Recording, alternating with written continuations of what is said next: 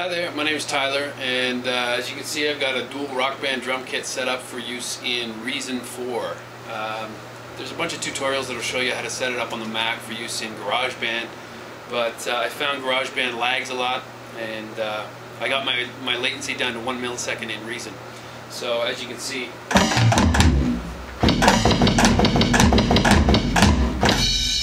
no latency. So um, let me just show you a little uh, demo what it's capable of.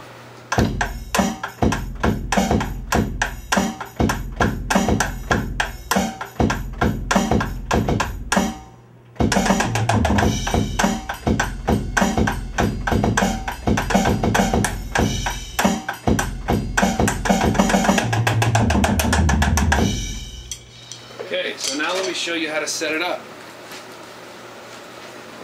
So I'm assuming if you're watching this tutorial, you already have Reason and uh, you don't want to spend a grand on a digital drum kit. Uh, you probably already have GarageBand, or Rock Band rather.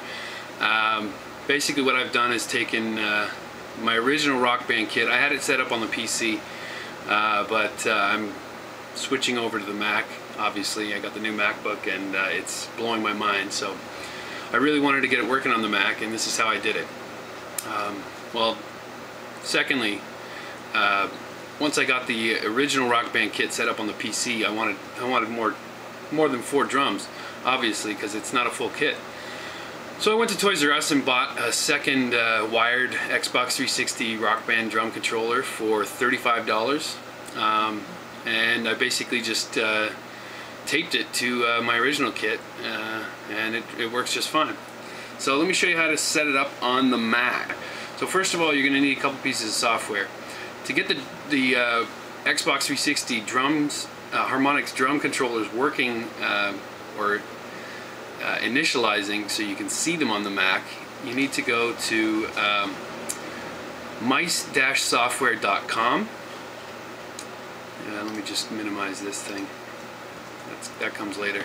So you go to mice-software.com right here, and you go to products, and you're going to want to download the 360 controller driver. And you go through there and you download it. Install that, and uh, then I'm pretty sure you have to reboot your Mac.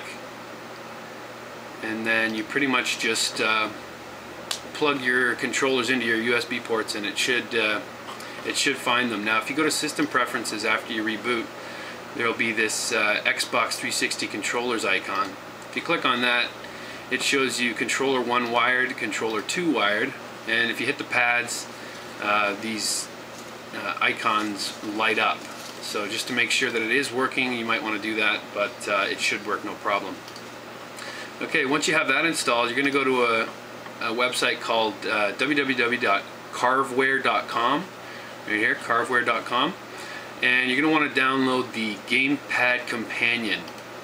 So download that, install it, and uh, I'm not sure if you have to reboot. I usually reboot after I install stuff um, because it tends to work much better. But uh, anyway, once once that's installed, uh, you're going to go to your system preferences again, and you're going to find this Gamepad Companion icon.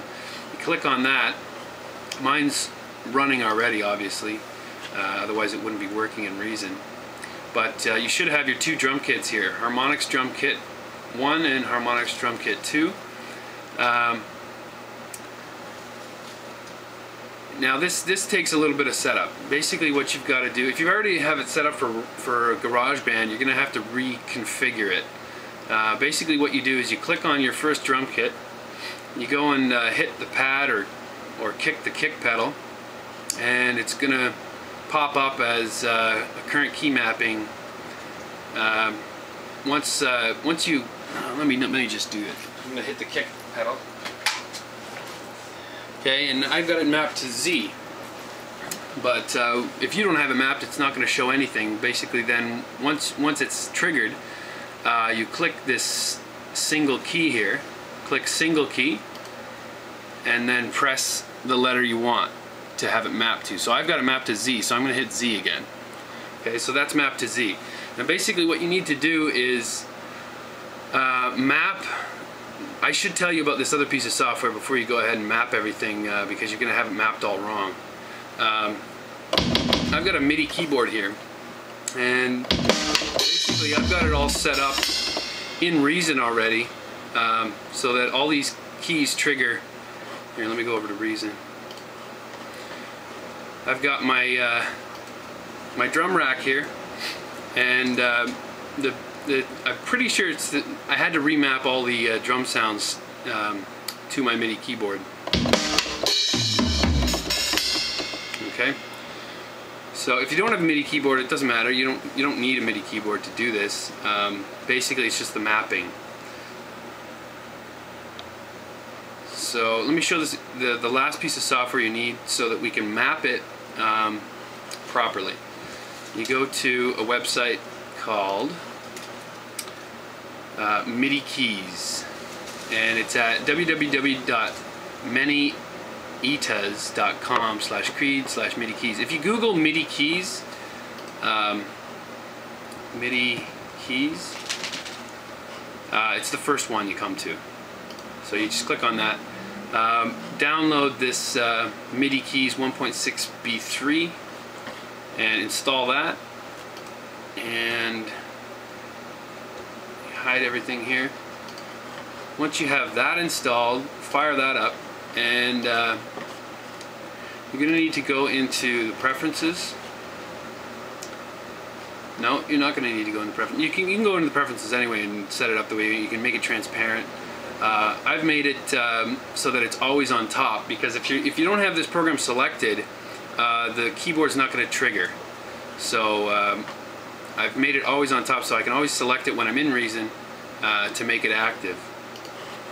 So one thing you are going to need to do is um, octave, I believe you have to octave down a couple times uh, in order to get these these keys synchronized with what an actual MIDI keyboard is. There's the kick, there's the snare, there's the uh, rim shot, toms, okay? So now we go back into um, system preferences to the gamepad companion. I'm just going to minimize this because you don't to see two of me. Oh, it won't let me. Uh, how about I pull up Reason then pull up... Oh. My control surfaces are going haywire. Okay, so now you select your first Harmonix drum kit. Uh, click the pad or kick the kick. And what you want to do is map it to, so you're going to click back on MIDI keys, and you want to map the kick to Z. Okay? And you, if I hit X, that's my rim shot. If I hit S, that's my snare. If I hit C, that's my tom 1. V is my tom 2. G is my tom 3, and so on and so on. So you can basically uh, map it to however you want. I basically set my bottom rack to uh, the snare, tom 1, tom 2, and tom 3, and my top rack to, um, what do we got? Uh, we got hi-hats on the first, open hi-hat on the second. Uh, the ride is actually set to the, uh, the green pad, and the crash cymbal is set to the blue pad. Okay, so basically uh, it's going to take a lot of setup, but once you get it set up, um, it's uh, it's going to blow you away. Because then, when you come into Reason, oh, one more thing, once, once you uh, get into Reason, you're going to have to go to your uh, preferences, and you're going to have to add a new MIDI controller. Uh, so basically what I did was uh, just clicked Add, um, Other, uh, just a MIDI control keyboard, and then the MIDI input is actually MIDI keys. So you select MIDI keys, and click OK. I'm not going to click OK because I already have it set up, but that's what you're going to have to do in Reason uh, in order to record. Okay, so uh, hopefully this tutorial was uh, helpful, and uh, yeah, you should be rocking in no time.